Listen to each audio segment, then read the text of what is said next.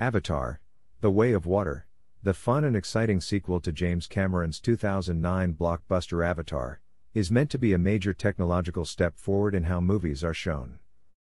We'll find out in time if that's true. But the truth is that many people will find it frustrating to watch the movie in what is thought to be the best format. The long awaited 192 minute film, which reportedly cost between $250 million and $400 million to make, was shown to the press for the first time in theaters that could show it at a high frame rate, HFR. You may have seen this in Gemini Man, Billy Lynn's Long Halftime Walk, or Peter Jackson's Hobbit trilogy. Director slash explorer, Cameron, in October said he had found a simple hack that would change the game. In short, he used new technology to make the way of water switch between the usual 24 frames per second and 48 frames per second. This appears to be a good compromise on paper. However, watching a full HFR movie is preferable than three or more hours of the shifting dynamic without the option to simply settle into one or the other. You can't ride two horses with one behind, to quote an old adage. And given how much of the movie is actually excellent, this is even more upsetting. Avatar, The Way of Water is a simple, fascinating story and a stunning setting. It's over three hours long, and it takes a third of that to start. Once former human marine turned Pandoran native Jake Sully, Sam Worthington, his Na'vi mate Neytiri, Zoe Saldana, and their four half Na'vi, half Avatar children escape the forest, the sense of amazement hits like a tidal wave. A group of Na'vi gather at night for a ceremony, standing knee deep in water and holding torches, with Na'vi played by Kate Winslet and Cliff Curtis presiding, in Avatar, The Way of Water. The plot is straightforward. After the events of Avatar, the Sky People, the rapacious, militarized humans of the Resources Development Administration, have returned to Pandora, and this time they want something even more elusive than the material on unobtainium.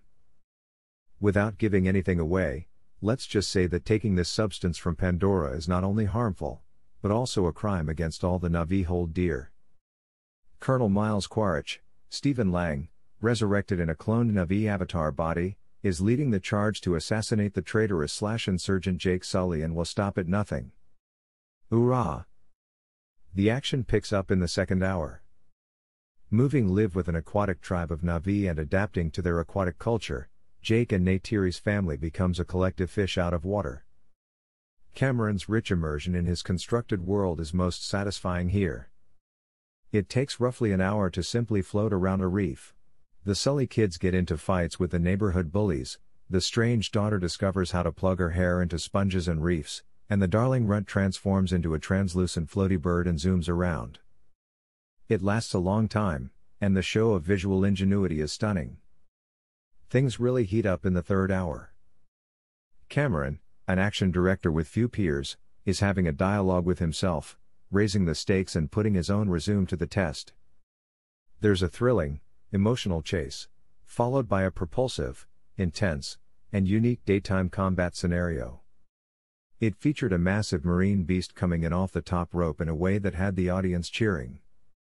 Cameron isn't recognized as a funny director, but his action sequences have always had a humorous edge to them. Cameron may have reacquainted himself with Sam Raimi's work. Perhaps he's drinking from the same cup as S.S. Rajamouli, the man behind the brilliant, Utterly ridiculous Indian import RRR. Cameron goes all the way into frenetic mayhem in the way of water, smash cutting from one absurd visual to the next. The closing act of this film demonstrates a liberating attitude in his action that he's never completely embraced before, even in action that's superficially similar, such as the big sinking ship sequence in Titanic. James Cameron has previous experience in this field, but this time around he appears to be having a lot more fun. The Way of Water is unlikely to be a financial watershed on the same scale as 2009's Avatar. Back then, 3D technology was so fresh, and world building and the utilization of CGI environments were both unparalleled.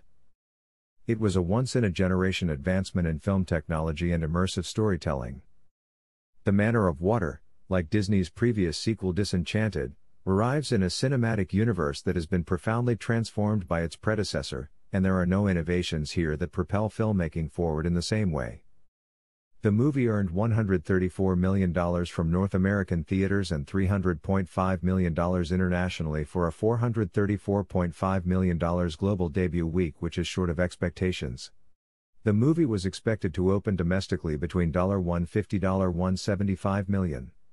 Let's see how the next few weeks fare.